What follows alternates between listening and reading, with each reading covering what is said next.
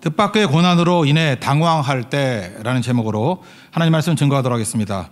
우리 지난주까지는 중심축이 예루살렘 교회에서 안디옥 교회로 옮겨 갔었습니다. 이제 다시 초점이 예루살렘 교회로 오는 것입니다. 다시 한번 점검하기 위한 내용이라고 생각을 합니다. 예루살렘 교회에 고난과 핍박이 찾아오게 되었습니다. 근데 이게 재앙이라는 것이 이게 유익이 있습니다. 오히려 예루살렘 교회를 건강하게 만드는 힘이 있게 되더라는 것입니다. 그래서 예루살렘 교회뿐만 아니라 주변에 핍박이 준 유익들에 대해서 한번 살펴봤으면 좋겠습니다. 첫 번째로 예루살렘 교회에게 준 유익이 뭐냐? 고난이 실패가 아니라는 것을 깨닫게 만들었다라는 것입니다. 우리 인생 살다 보면은 고난이 오고 환란이 항상 있습니다. 악인에게도 있고 의인에게도 있습니다. 비바람과 폭풍이 없는 인생 없습니다. 이건 악인에게도 있고 의인에게도 있습니다. 만약 계속해서 비바람과 폭풍이 없다 그러면은 사막이 돼 버린다. 뭐 그런 얘기 들어보셨죠. 우리 종종 우리 남해안에 녹조 현상이 벌어진다. 그래서 뭐 황토 갖다 붓고 그러는데 역부족입니다. 근데 태풍 한 번 오면 녹조 다 없어져 버립니다. 그래서 우리 인생에서 비바람과 폭풍도 꼭 필요하다라는 것입니다. 이런 것을 안다 그러면 그리스도인들은 고난을 단순히 실패라고 여기지 않는다라는 것입니다. 예수님의 제자들 보면은 가론유다 빼고요. 요한 빼고는 다 순교했습니다. 근데 성경에서 그 11명이 순교했다라는 거, 그 기록된 건 딱 한 사람입니다. 세베대 아들 야고보, 그 요한의 형제죠. 야고보만 첫 번째 순교했다. 이렇게 기록하고 있습니다. 1, 2, 3절 다 같이 읽겠습니다. 시작. 그때 헤롯 왕이 손을 들어 교회 중에서 몇 사람을 해하려 하여 요한의 형제 야고보를 칼로 죽이니 유대인들이 이를 기뻐하는 것을 보고 베드로도 잡으려 할세 때는 무교절 기간이라. 이렇게 믿는 사람에게 핍박이 옵니다. 그럼 우리 당장 이런 질문을 하게 되잖아요. 왜 의인이 핍박을 받습니까? 여기 야고보 보면은 잘 믿었거든요. 근데 왜 의인에게 핍박이 있습니까? 고난은 의인 악인 가리지 않는다니까요. 그래서 고난 총량 불변의 법칙 그런 얘기도 했죠. 마태복음 5장 45절에 보면은 하늘에 계신 너희 아버지의 아들이 된다. 우리 믿는 사람이라는 거거든요. 그러면 만사 형통일 것 같이 보이는데 이는 하나님이 그 해를 악인과 선인에게 비주시며 악인 선인 관계없이 햇빛 비친다는 거예요. 또 의로, 비를 의로운 자와 불의한 자에게 내려 주심이라. 이거 차별 없다라는 것입니다. 그러므로 고난은 왜라고 묻는 문제가 아니라는 거예요. 의인이든 악인이든 왜 이렇게 묻는 게 아니고 태도의 문제라는 것입니다. 고난이 올 때 믿는 자는 태도가 다르다. 그 차이라는 것입니다.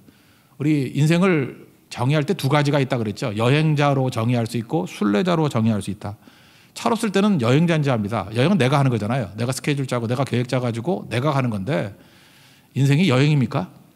해보시라고요. 여행 아닙니다. 뜻대로 되는 게 아니에요. 인생이 순례입니다. 순례자라는 거예요. 순례자라는 건 뭐죠? 이끌림 당한다는 거죠. 하나님의 부르심에 따라서 어떤 힘에 의해서 내가 이끌려 가고 있는 거예요. 그걸 사명이라고 말하기도 하는데 그 순종하는 거 그게 필요하다는 것입니다. 그래서 순례자는 하나님의 뜻에 대해서 영접하고 수용하고 그게 아멘으로 반응하는 거 그게 중요하다는 것입니다. 오늘 성경에서 중요하게 말하는 게 하나님이 주권을 말하고 있고 또 하나는 합력하여 선을 이룬다. 이건 최종 결과가 좋다 그런 뜻이죠. 로마서 9장 20절을 보니까 네가 누군데 감히 하나님께 반문하느냐? 지은받은 물건이 지은 자에게 왜 이렇게 말하느냐? 이렇게 물을 수 있느냐? 그러면서 토기장이가 지능 한 덩이를 가지고 귀쓸 그릇을 만들든지 천이 쓸 그릇을 만들든지 그럴 권한이 없느냐? 이렇게 얘기를 합니다. 하나님이 주권 문제라는 거예요. 우리 순례자입니다. 주께서 우리를 이끌어 가신다. 그걸 꼭 붙들어야 된다라는 것입니다. 그러므로 왜 고난이 오냐? 그래서 고난이라고 이렇게 전제하는 거 내가 판단 내리는 거 아니에요. 고난 나쁜 거라고. 그렇게 말할 수 없다라는 것입니다. 어떻게 반응하느냐? 또 어떻게 이겨낼 것인가? 그 하나님 앞에 더 가까이 갈 것인가? 이거를 묻는 것이 올바르다라는 것입니다. 많은 사람들이 크리스찬들의 취약점이 있다고 얘기를 합니다. 믿음에 있어서는 잘 안 넘어집니다. 근데 고난에 관해서 생각보다 크리스찬들이 취약해요. 이유가 뭐냐? 내가 충성했는데, 내가 헌신했는데 왜 고난이 오냐?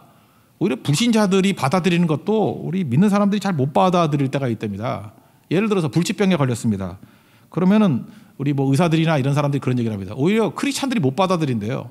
그죠? 크리스찬들이 뭐 거기서 막 털썩 주저앉으면서 하나님 이럴 수가 있나? 충성스럽게 살았는데 왜 이러나? 이렇게 반응하는 사람들이 있답니다. 제일 못 받아들이는 사람이 누구냐? 목사랍니다. 아, 목사들이 못 받아들인대요. 그죠? 어, 내가 뭐 주, 주께 충성했지 뭐 한 게 있다고 이러냐? 그 왜 그렇습니까? 피상적으로 믿기 때문에 그렇다는 거예요. 하나님의 주권 안에서 자기 자신을 바라보는 것이 없기 때문에 그렇다라는 것입니다. 제 개인적으로 6월 6일 날 우리 남전도에 철원 트레킹을 갔습니다. 돌아오고 저녁 때그 전화가 오더라고요. 예, 제가 폐암 진단을 받았습니다. 그때 막막하더라고요. 그 그때 이런 생각이 들다고 성도들도 이렇게 암 진단을 받으면은 이런 느낌이 들겠구나 그런 생각이 들었습니다. 저는 되게 현실적인 사람인가 봐요. 당장 이런 생각을 했어요. 하나님 앞에 기도하면서 제가 뭘 해야 되죠? 내가 뭘 해야 되죠? 하나님의 인도하심을 구했습니다. 뭐 당장 그때 죽는구나 이런 느낌이 들더라고요. 마지막에 할 일이 뭐죠? 어, 그때 굳이 응답이라 그러면 일상을 지켜내라 뭐 그런 거였어요. 일상을 지켜내라. 그리고 또 한 번 기도가 더 나오더라고요. 한 번 기회를 더 주신다면 내가 희스기야 싫어하지만 혹시라도 15년 더 주신다면 뭐 이렇게 물었습니다. 그랬더니 응답이 똑같아요. 일상을 지켜야지. 그래서 제가 마음이 담대해졌습니다. 뭐 죽으나 사나 뭐 똑같이 일상 지키는 거지. 별 차이가 없더라고요. 그래서 삶이 정리가 됐습니다. 어, 뭐 일상 지키는 거지. 그러고 난 다음에 이제 검사를 받으러 오라고 하더라고요. 4박 5일 동안. 근데 병, 병실도 없더라고요. 그래서 하루 연계돼 가지고 어, 제가 6월 6일이었는데 6월 8일 수요일 새벽기도 나와서 새벽기도 인도를 했습니다. 그리고 입원을 했거든요. 제가 이유는 그거였어요. 일상을 지켜야지 뭐 죽으나 사나 일상을 지켜야지. 별로 다르지 않더라고요. 그러니까 중요한 게 뭐냐 하면은 우리 삶 속에서 이 고난의 문제에 대해서 왜 묻지 말고 뭘 해야 되지? 내가 어떤 걸 받아들이지? 하나님이 주권 안에서 내가 뭘 해야 되지? 그게 더 중요하다는 것입니다. 그러니까 별 차이가 없더라니까요. 뭐 암진단을 받으나 뭐 아닐 때나 별 차이가 없더라고요. 또 한 가지는 그죠. 합력하여 선을 이룬다. 로마서 8장 28절 말씀 아닙니까? 여기 보니까 야고보는 순교했습니다. 근데 베드로는 똑같은 제자인데 풀려나잖아요. 차이점이 뭐죠? 뭐 한 사람은 잘 살았고 한 사람은 못 살았고 그런 건가? 그거 아니죠. 그 마지막에 오면 하나님께서 좋은 거 주시는 거예요. 이게 합력하여 선을 이루신 거 아니겠습니까? 사용하는 게 틀리거든요. 우리 대장장이들 보면은 망치가 있으면은 망치 이렇게 밑에 받침대 있죠. 그걸 모루라 그러죠. 모루. 모루가 있어야 될 거 아니에요. 모루가 있어야지 망치를 쳐서 이렇게 쇠를 단련하죠. 제가 볼 때 야고보는 먼저 데려가셔가지고 모루 삼으신 거예요. 초대교회 모루 받침대. 그러니까 야고보라는 순결 통해서 모루 삼으시고 베드로는 좀 더 사용하셔가지고 망치로 사용하시는 거예요. 망치만 있어가지고 쇠를 단련할 수 없잖아요. 그러니까 하나님께서 우리를 부르실 때 모루로 부르는 사람도 있고 망치를 부르는 사람도 있고 다 하나님께서 그 사람에게 유익하기 때문에 불러주신다. 이걸 깨닫는 게 되게 중요하다고 생각을 합니다. 제 예루살렘 교회에 하나님께서 핍박을 통해서 주신 게 바로 뭐냐? 고난당하지, 핍박당하지. 그거 실패 아니야. 그 하나님의 주권이고 하나님께서 너에게 좋은 거 주시는 거야. 그리고 너에게 딱 맞는 거 주시는 거야. 그러니까 좋은 반응 가지고 충성해. 그걸 깨우쳐 주셨다는 것입니다. 그거보다 중요한 건 없겠죠. 두 번째로 핍박이 주는 유익이 뭐냐 하면 중보기도의 능력이 얼마나 대단한가 이거 깨닫게 만들어 주셨다라는 것입니다. 세상 사람들은 진리에 관심이 없습니다. 그래서 여기 헤롯 왕 그러는데 여기 헤롯이 우리 보통 예수님 태어났을 때 죽이려 그랬던 사람을 갖다가 건축을 많이 했다 고 헤롯 대왕이라고 부르거든요. 헤롯 대왕의 손자입니다. 이 사람은 헤롯 아그리파 1세라 그래요. 아그리파 1세. 어, 그리고 그 다음에 26장인가 보면 사도 바울에게 뭐 네가 적은 말로 나를 그리, 그리스도인이 되게 하는구나. 그때 내가 이렇게 결박당한 거 외에는 나와 같이 되기를 원합니다라고 대답했던 게 헤롯 아그리파 2세 이 사람의 아들이에요. 근데 얘네들은 집안 사람들이 다 나쁜 놈들이에요. 헤롯 아그리파 1세도 야고보 죽이고 뭐 베드로 죽일라 그러고 뭐 별로 좋은 사람은 아니었다라는 것입니다.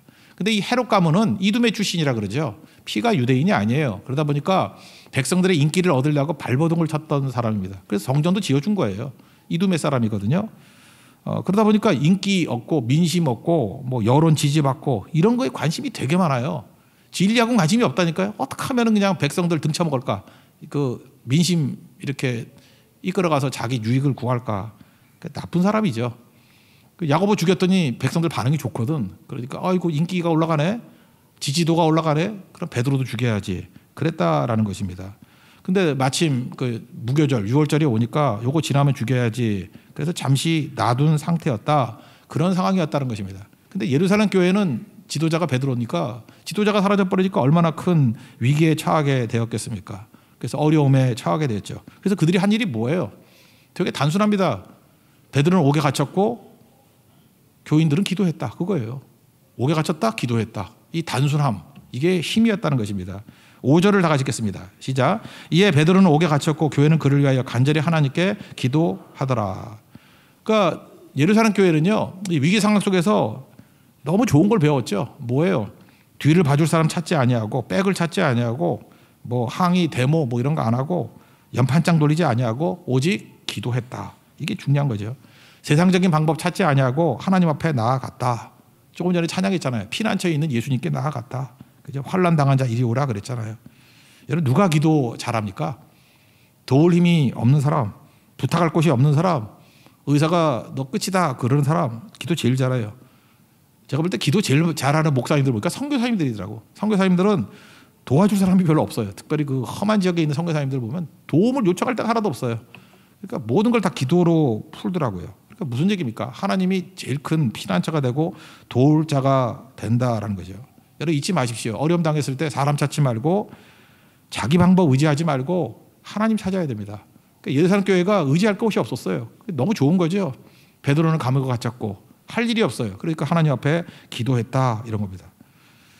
기도하니까 성령이 역사하잖아요. 기도하니까 불이 일어나잖아요. 기도하면 귀신이 쫓겨나갑니다. 기도하면 병이 낫습니다. 기도하면 모든 것이 다 새로워져요. 이게 능력이었다는 거예요. 핍박을 통해서 예루살렘 교회가 또 하나 배운 게 뭐죠? 중보기도의 힘. 그죠? 기도하는 것이 얼마나 능력이 있는지 그거를 깨닫게 됐다는 것입니다. 기도도 여러 가지가 있죠. 대화 기도라는 게 있지 않습니까? 일상적으로 걸어 다니면서 하나님 앞에 기도하는 거예요. 말하는 기도 중얼중얼중얼. 아까 저같이 뭐, 뭐 하죠, 주님? 뭐 이런 거. 일상을, 일상을 살아라 뭐 이런 거. 그렇게 중얼중얼 대화하는 거예요. 하나님 어떡하죠, 이거? 그죠? 잠깐만 마음이 흔들리는데 어떡하죠? 뭐 이런 거. 그죠? 이렇게 대화하는 거예요. 그 대화 기도가 있을 수 있고. 또 하나가 찬양 기도죠.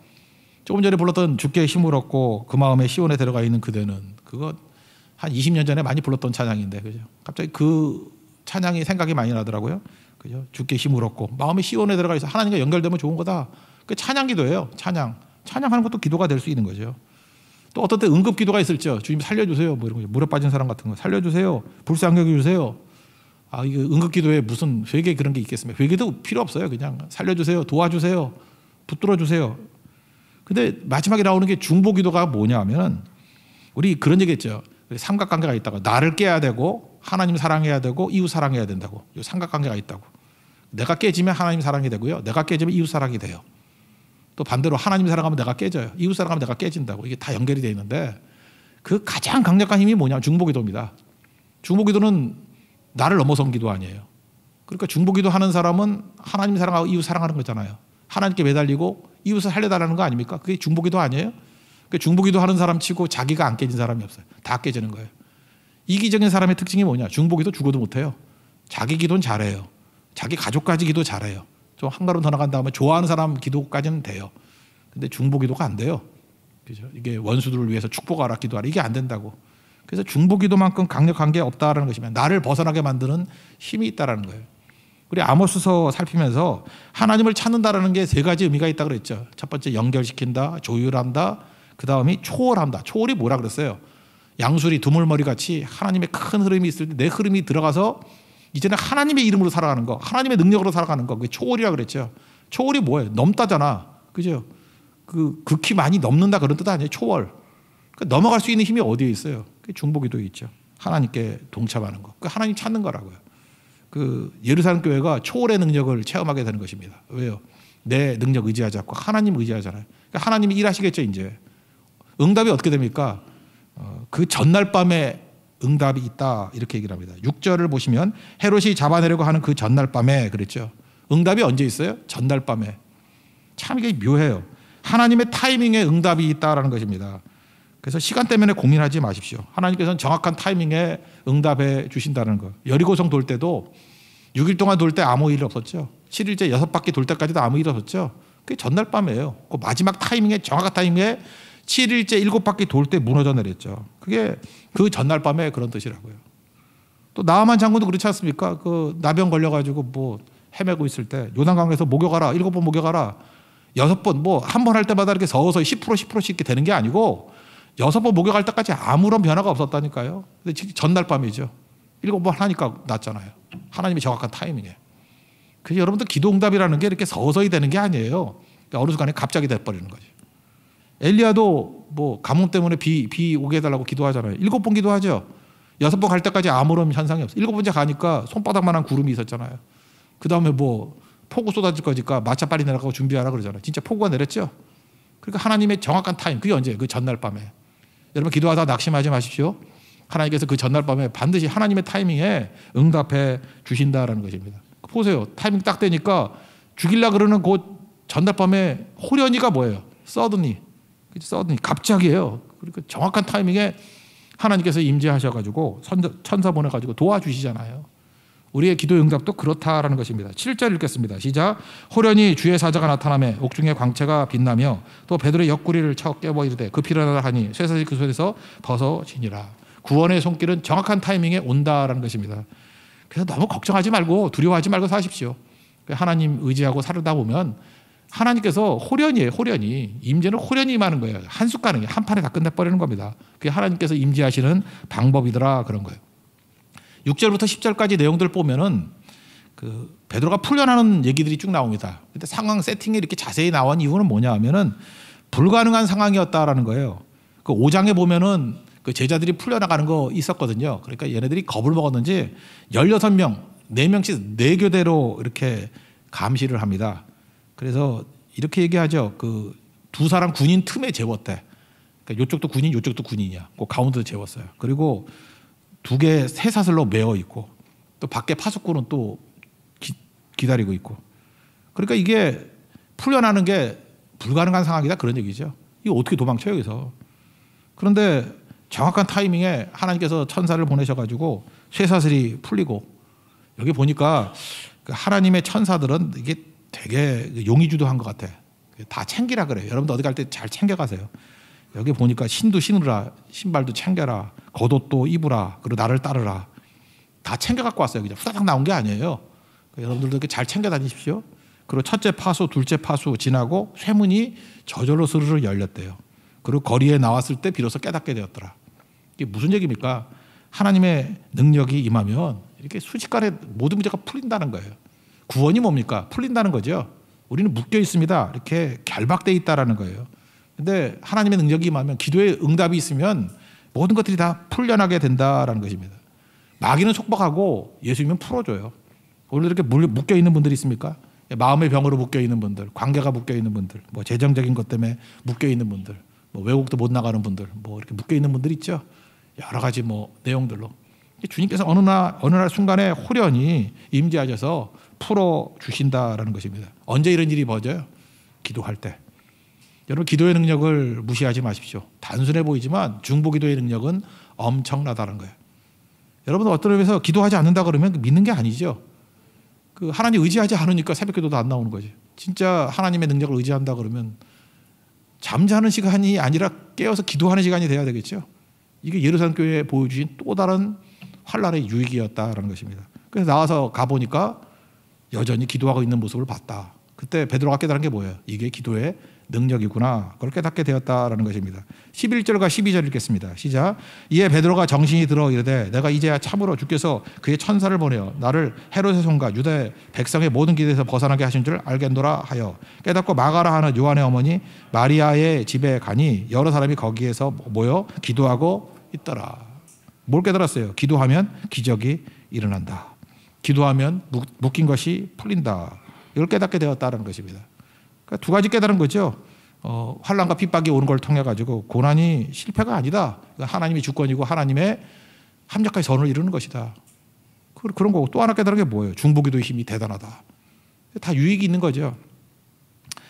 이제 마지막 종합적으로 볼때 그 부족한 모든 것을 다 채우는 힘이 있다라는 것입니다. 야고보서 앞부분을 읽으면 1장 2절에 이런 말씀이 있죠. 여러 가지 시험 당하면 기뻐하라고. 이유가 뭐냐면 믿음의 시련이 인내를 만들어내는데 인내를 온전히 이루면 온전하고 구비하여 조금 더 부족함이 없게 만든다고. 여기 똑같은 일이 벌어지죠. 지금 고난 당했어요. 그랬더니 부족함이 없게 모든 걸 다 채워 주시더라. 예루살렘 교회도 유익이 있고 안디옥 교회도 유익이 있고 또 모두에게 다 유익이 있더라. 그 마지막 그것만 정리했으면 좋겠어요. 첫 번째는 예루살렘 교회가 깨지는데 유익이 있었어요. 이건 되게 유익이 있거든요. 우리 8장 1절에 보면 그런 거 나오죠. 스테반의 일 때문에 핍박이 왔습니다. 박해가 왔어요. 그랬더니 사도 외에는 다 흩어졌다 그런 얘기가 나오죠. 그 한번 물어볼게요. 사도는 왜 예루살렘을 안 떠났을까요? 그럼 이런 생각을 하잖아요. 아, 순교에 각오를 했기 때문에. 근데 앞뒤 분위기를 보니까 그 사도들이 핍박받았다는 얘기가 거기는 없어요. 그러니까 순교의 각오 때문에 떠나지 않은 건 아닌 것 같고 그냥 빙비 돌리지 말고 직접 얘기할게요. 예루살렘 교회에는 두 종류의 파벌이 있었죠. 히브리파와 그러니까 본토파와 헬라파 두 부류가 있었는데 스테반의 일로 인해서 핍박이 온 게 이 본토파한테는 안 온 것 같아요. 히브리파한테는 헬라파한테만 온 것 같아. 헬라파가 좀 자유분방하잖아. 그러니까 헬라파를 막 죽일라 그러고 그러니까 도망친 사람이 죽이는 사람도 스테반 이게 헬라 이름이거든. 또 하나 빌립 빌립도 도망쳤는데 빌립도 필립이니까 이것도 헬라 이름이거든요. 그러니까 이런 사람들만 도망을 친 것 같아요. 그러니까 무슨 일입니까? 교회가 하나 같이 보이는데 미묘한 거리감이 있었다는 것입니다. 히브리파와 헬라파의 미묘한 거리감. 그래서 당시에 예루살렘에 있는 사람들이 반감을 가진 것은 히브리파 사람들이 아니고 헬라파 사람들에 대해서 반감을 가졌던 것 같아요. 그래서 그들을 핍박하고 죽일라 그러니까 이 본토 출신들 히브리파 사람들은 제 느낌 보니까 약간 방관한 것 같아요.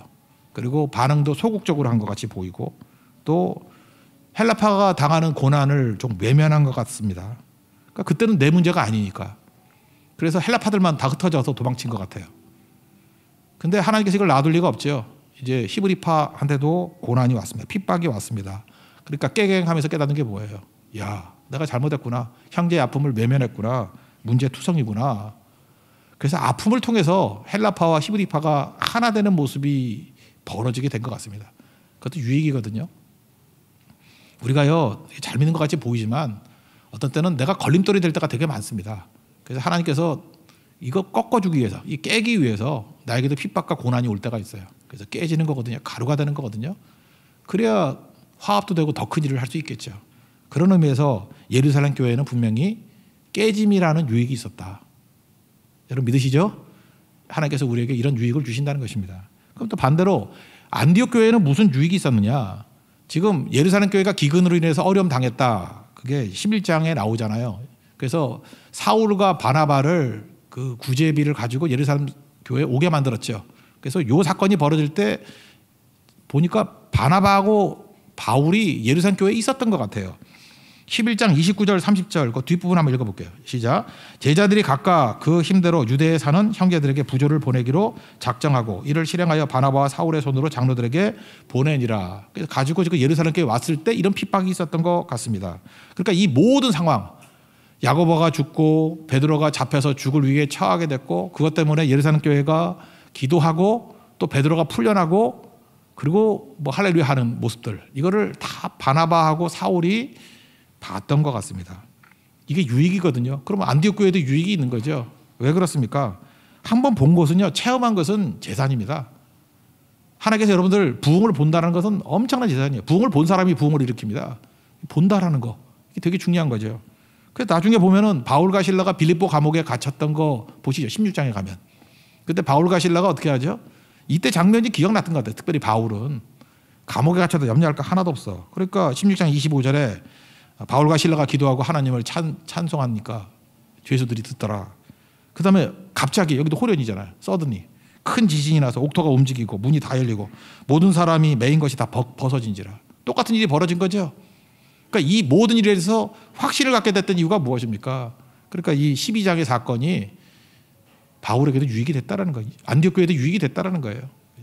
염려할 거 없고 하나님 맡기고 의지하면 주께서 풀어주신다. 그걸 깨닫게 됐다는 것입니다. 그잘 보세요. 이 예루살렘 교회 핍박과 환란이 예루살렘 교회도 유익이 있고 깨지는 유익. 그다음에 안디옥 교회도 굳건한 믿음을 갖게 되는 유익이 있게 되고 미리 경험하게 되는 유익이 있더라는 것입니다. 나쁜 거 아니죠. 그리고 공이 두 교회 모두 다에게 유익이 되는 게 뭐냐? 하나님께서는 우리의 심령을 헤아리시는 하나님이라는 것을 깨닫게 됐다라는 것입니다. 여러분 잘 보면 여기서 예루살렘 교인들이 뭐라고 기도했겠어요? 베드로 이제 죽습니다. 그때 뭐라고 기도했겠어요? 뭐 살려달라? 벗어나게 해달라?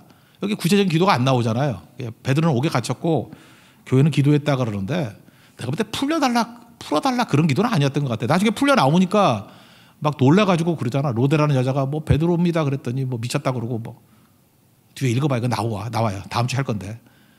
그러니까 구체적인 기도는 안 했던 것 같아요. 우리가 그래요. 기도할 때 물론 성령께서 뭐 마땅히 구할 바를 알지 못하니까 구할 바를 알려주신다 그러는데 너무 당황하면요. 뭘 구해야 될지 몰라요. 당황해 보셨어요? 그때는 그냥 아버지, 아버지 그거밖에 안 나와요. 아버지, 아버지. 어찌합니까? 어찌합니까? 그러니까 하나님께서 그 10년까지도 헤아려 주신다는 거예요. 여러분들 그래서 기도 잘 못하면 그냥 교회 와가지고 엎드려 계세요. 그냥 아버지, 아버지, 아버지, 아버지. 어찌합니까, 어찌합니까? 답답합니다, 답답합니다. 그래도 주님께서 그 심령을 헤아리신다는 거예요. 예를 하나 든다 그러면 창세기 19장에 나오는 아브라함과 그 소돔과 고모라 망하는 얘기 나오잖아요. 하나님께서 소돔 고모라 저 작살낸다 그랬더니 아브라함이 뭐라 그래요? 하나님, 아, 의인을 악인과 함께 죽이는 게 안 되지 않습니까? 그래, 그래, 그건 맞는 것 같다. 의인 50명 있으면 살려주실래요? 오케이, 살려줄게. 아, 아무래도 50명 없을 것 같아. 그러니까 45명 없을 것 같아. 40명, 30명, 20명, 10명. 여러분 이 얘기를 쭉 들어보면서 우린 그러죠. 이게 숫자에 관심이 많아. 50명, 45명, 40명, 30명, 20명, 10명. 그래서 뭐 어떤 때는 그냥 한 명 그래도면 살려줄 건데 즉그 얘기가 아니에요. 아브라함도 너무 당황스러워 가지고 그러니까 하나님 앞에 자기도 뭣도 모르고 설명한 거예요. 그죠? 하나님 50명, 45명, 40명. 이게 본심 아니에요. 아브라함이 진짜 하고 싶은 얘기 뭐였죠? 내 조카 로 살려주세요. 그거죠. 근데 그 말을 못 해. 그래서 창세기 19장을 보면요. 사람이 너무 당황스러우면 하나님 앞에 직설적으로 못 구해요. 뻔뻔스러워서. 어떤 때는 민망해서 뭐, 뭐 어떤, 어떤 거죠? 어떤 때는 당황스러워서. 그러면 하나님께서 그냥 우리 입술로 구한 것만 들어주시느냐? 아니에요. 우리 심령을 헤아시는 하나님이에요. 그래서 창세기 20, 19장 29절 보면요. 하나님의 아브라함을 생각하사 아브라함을 생각하사가 이게 뭐예요? 그의 심령을 헤아리셨다 그런 뜻이죠. 하나님께서 아브라함의 생각을 다 이렇게 헤아리셔서 그 엎으시는 중에 롯을 내보내셨다. 건져주셨다. 이런 말씀이 나옵니다. 우리가 하나님 앞에서 이걸 또 깨우쳐야 돼요. 이 환란과 핍박 중에 하나님 앞에서 내가 직설적으로 다 구하지 않는다 할지라도 하나님께서는 내 심령을 헤아려서 응답해 주십니다. 오늘도 예배 나와가지고 뭐 초신자들 또는 뭐 너무 민망해서 이렇게 마땅히 구하지도 못할 분들이 계시지 않습니까? 그때 하나님 앞에 답답함을 토로하십시오. 하나님, 내가 너무 답답하고 그냥 아시죠, 주님. 주님 도와주세요. 이러면 주님께서 그 마음을 헤아려 주신다는 거예요. 그래서 마태복음 6장 8절 보니까 구하기 전에 너에게 있어야 할 것을 하나님 너희 아버지께서 아시느니라 알고 계셔요. 그래서 중요한 건 뭐예요? 하나님 앞에 내려놓는 마음, 주를 구하는 마음 가지면 주님께서 충분히 돌아보시고 건져 주신다라는 것입니다. 말씀의 결론 맺겠습니다. 우리 인생 가운데 내가 생각지도 못했던 환란과 고난이 와서 당황할 때가 있습니다. 그렇죠? 그때마다 우리 크리스찬들이 믿어야 될 게 뭐냐 하면 하나님이 주권자 되시고 합력하게 선을 이룬다. 끝이 좋다라는 거예요. 주권자 하나님께서 좋은 길로 이끌어 가신다라는 것입니다. 그러므로 겉으로 보이는 고난을 고난이라고 네이밍하지 마십시오. 몰라요, 이게. 고난을 실패라고 네이밍하지 마십시오. 이걸 통해서 분명히 하나님께서 가장 좋은 걸로 이끌어 가신다. 신뢰해요. 그 신뢰하는 마음을 갖는 하나님 종 되길 바랍니다. 그러니까 우리가 할 일이 뭐죠? 반응이에요. 중보기도 하는 겁니다. 기도할 때 놀라운 능력이 나타나게 된다는 거예요. 오히려 어려움 때문에 중보기도의 능력에 불이 붙어서 하나님의 기적을 체험하는 하나님의 종이 될 것입니다. 또 이걸 통해서 깨지지 않았던 예루살렘 교회가 깨졌고 장차 예, 안디옥 교회 어, 승리할 수 있는 어떤 믿음의 토대를 배우게 되었고 무엇보다도 하나님께서는 심령을 헤아리시는 하나님이라는 것을 다 공히 깨닫게 됐다는 거예요. 그래서 사도행 12장 전체를 읽으면서 깨닫게 되는 게 뭐냐? 고난이 상상도 못할 엄청난 유익이 있는 것이다. 합력까지 선을 이루는 것이다. 이걸 깨닫게 된다는 것입니다. 그 유익을 누리는 하나님의 거룩한 종 되기를 축원합니다. 예, 자리에서 나겠습니다. 나의 한숨을 바꾸셨네 찬양하겠습니다.